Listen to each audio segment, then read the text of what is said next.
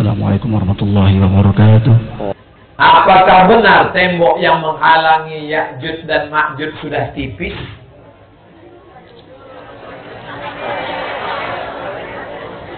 Baca tafsir namanya At-Tahrir wa Tanwir. Apa namanya?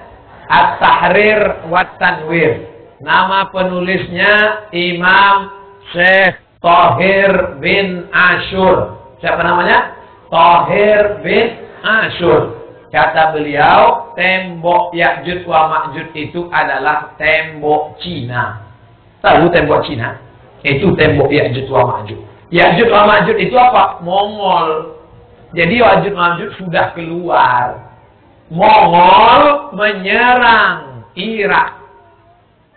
Bani Abbasiyah. Itulah. Jadi tanda hari kiamat Ya'jud wa Ma'jud sudah keluar. Menurut Syekh Imam Tahir bin Asyur dalam tafsir Tahrir wa Tanwir.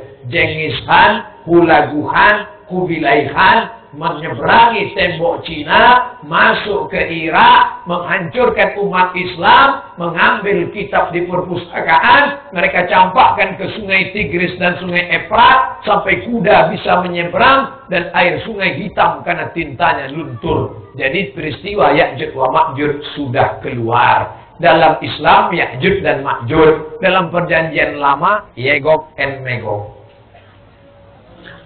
Yegok and Megok Ya'jud wa Ma'jud.